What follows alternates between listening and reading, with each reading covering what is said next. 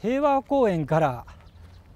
ほぼ北に700メートルぐらい移動しました。ここは広島城の跡です。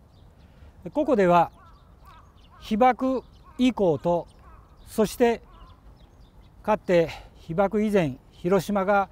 軍都でありましたけれどもその加害の側面からも少し訪ねてみたいと思います。お城に入って最初に目につくのがこの大きな木です。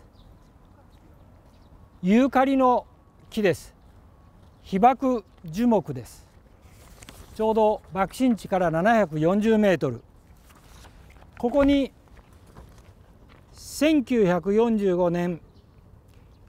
年末頃に写された当時の写真があります。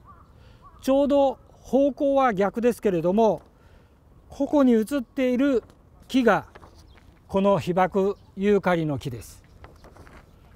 この木はまっすぐに立っていてよく見ていただくと被爆した年の年末でありながらすでに葉が出ているのが見えると思います。まっすぐに立っていた木ですけれども1971年の台風によってこの真ん中の方木が折れこの被爆樹木が元気に育つだろうかこう危惧されましたけれどもその後周りから新しい芽が出て今はこんなに大きな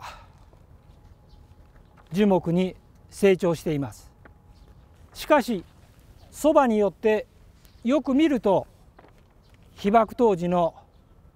傷跡を見ることができます。この木の根元をよく見てください。爆心地の方向がえぐられています。こちらの木は爆心地の方向熱線で焼かれたものと思います。ユーカリの木は本来まっすぐに育つ木と言われています。しかしこの今木の様子を見ると大きく曲がっている枝がたくさん見受けることができます。これも放射能の影響を受けているんではないか。こうお話をされる樹木医の先生もいらっしゃいます。この広島城の後にはこの他にも被爆樹木がありますのでもう一本紹介したいと思います。先ほどの被爆柳のユーカリの木から10メートルちょっと離れた場所にあるこの丸葉柳も被爆樹木です。今広島市は被爆樹木を管理保管しようということで登録をしていますけれども160本の被爆樹木が登録されています。その登録の基準はだいたい2キロ以内爆心地から2キロ以内で被爆し今も残っている樹木を被爆樹木として登録しています。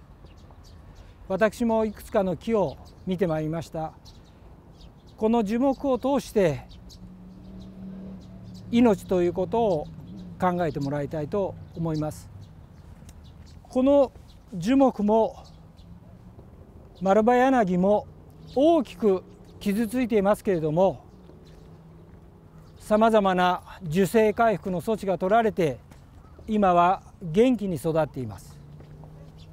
この枝よく見ると爆心地の方向にやや傾いているように見受けられます。被爆樹木の